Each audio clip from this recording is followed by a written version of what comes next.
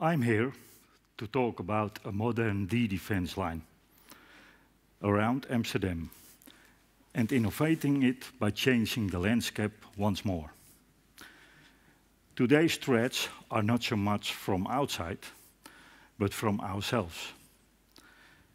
The effects of the world's population moving the cities are clear, more industry, more cars and more pollution.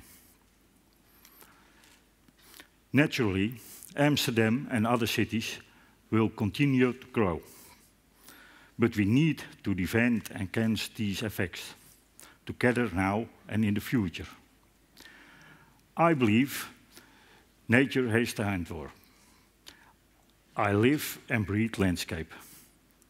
When I was 12, I had my first job in a greenhouse in a growers village called the Kwakel, 20 kilometers from here. This was me, almost up to my ears in plants. All my life, I've been fascinated by nature. I've spent the last 40 years developing landscapes that improve the well-being for us all. Seven years ago, I heard Al Gore speak at Live Earth. He triggered me. So I began experimenting to see if I could use my knowledge to slow climate change. We all know plants and trees can improve our quality, air quality, and absorb CO2. I wondered, what if they could do it faster? What if they could turn back the effects of pollution, especially alongside busy roads? So I went back to the greenhouse. And we set up the Innovation Motor Project. I and a group of growers selected and tested numerous plants with hairs on their stems. We discovered that hair made the plants very good at capturing particles of pollution from the air. And we finally found the best, kamperfoelie, honeysuckle. Amsterdam's mayor, Van der Laan, calls it the green junkie because these plants have an addiction. They are addicted to pollution.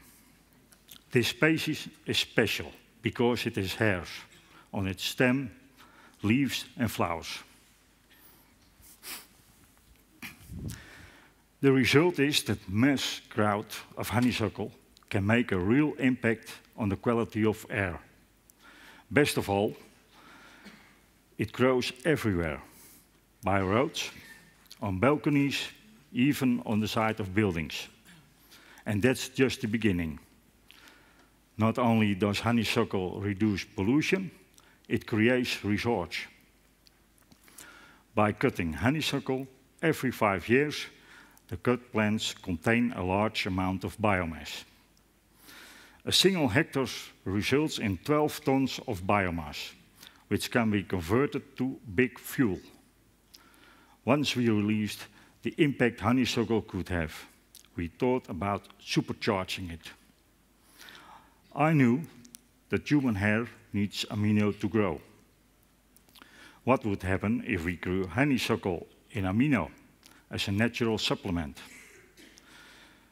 Together with the Wageningen University, our test found that honeysuckle grows three times faster. The last test was, the, was to anticipate the future.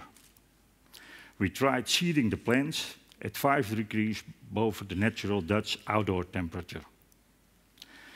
This would prepare our green junkie for climate change.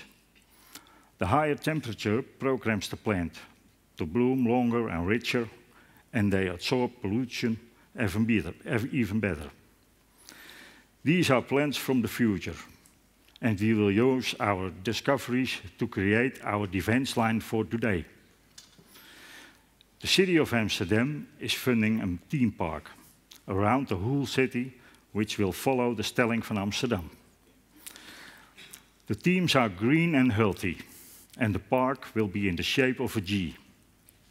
A green corridor with honeysuckle and all kinds of other pollution-absorbing plants, covering 25,000 hectares of land. In seven years, the park will be finished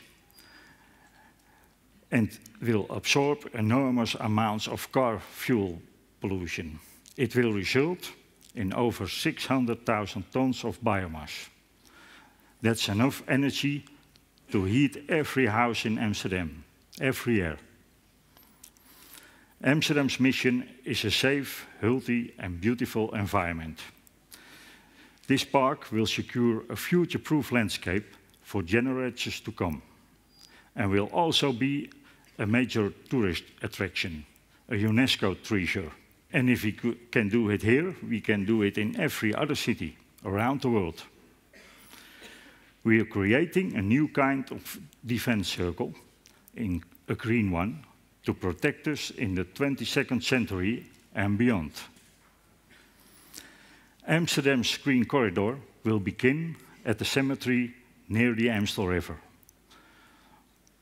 Where life ends, we will bring new life for the future. Thank you.